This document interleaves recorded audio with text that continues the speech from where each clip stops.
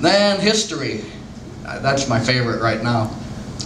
Lessons piling from the past create a wisdom pool so vast that people cannot soak it in. The problem is they don't. They go about their merry way, redoing blunders every day. The people yearn to live and learn. The problem is they won't.